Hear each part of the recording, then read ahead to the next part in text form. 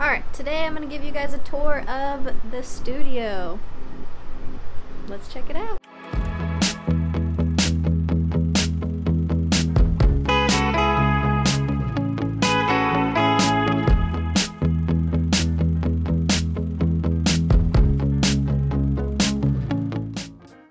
It's open here. close the door behind me.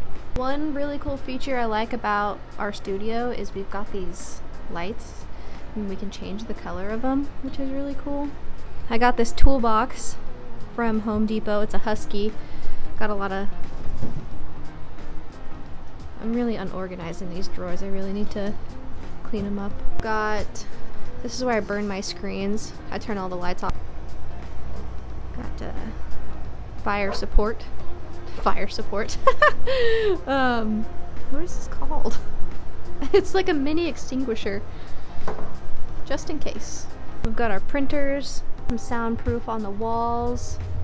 Skylar does all of his podcasts in here, so um,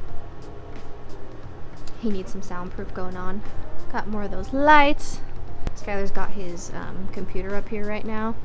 He built this, which is freaking cool. I wish you could see in it. Our desk. Skylar's got his dual monitors.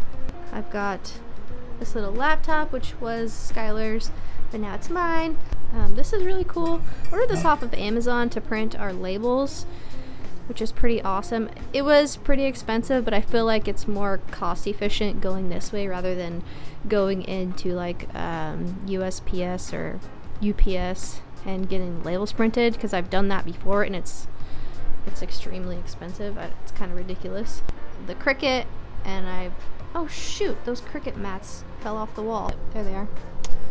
Good to know. I didn't even notice they fell down. Moving down, Skylar made this at his old job. It's um, a rack for my screens, which is super awesome. My inks. I ordered Rio Electric colors, I think is what it was. Um, but I got all these colors just to make any color that I wanted. Got a couple things that I use daily. Anybody has any recommendations for a really nice air purifier? That would be awesome. This guy right here is my adhesive tape, which I love this stuff. Really expensive, 80 bucks for this roll. I hope it lasts a long time. But this is definitely better than like a spray or um, like a liquid I would say anyways in my opinion I would definitely get this this definitely makes things a lot easier We've got the flash dryer, which, if I'm being honest about this flash dryer, I hate it so much. I seriously don't like it. Um, and the only reason why I don't like it is this stand right here. This stand is such a pain in the butt. I trip on this, Skylar trips on it, he hits his foot on it, he stubs his toes, like, it's if there was a different stand on this, this would be amazing and I would love it.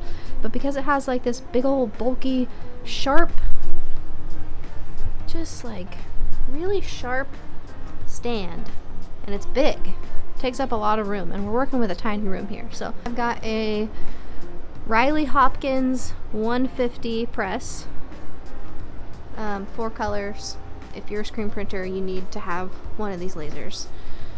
Um, this originally didn't fit on the 150, but and I definitely should have done my research. But th that's just how I how I do things. I guess I just order things without them knowing that they fit. Anyways, um, we ended up having to shave this down.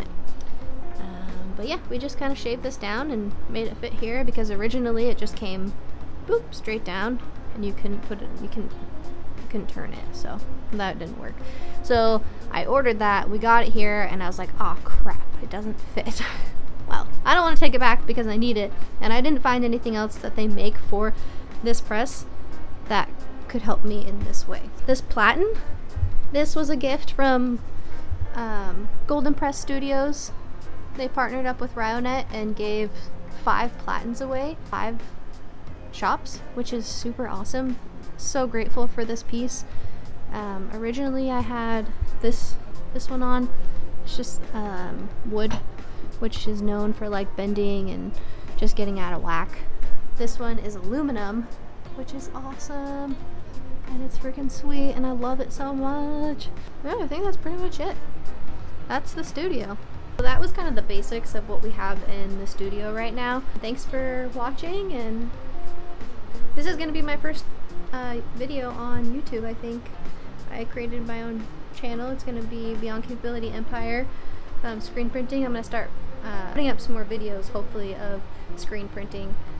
Um, I'm still learning so we'll see how that goes. So you guys get to watch me make all my errors and um, mishaps. So that'll be fun.